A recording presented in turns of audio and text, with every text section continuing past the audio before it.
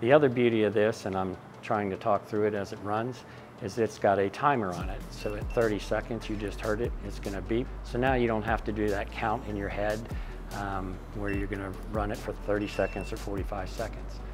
So it just dramatically improves the cleanliness of the canal and we all certainly think that the cleaner the canal, the better chance for success and the cleaner canal, the better post-op outcome for our patients as well.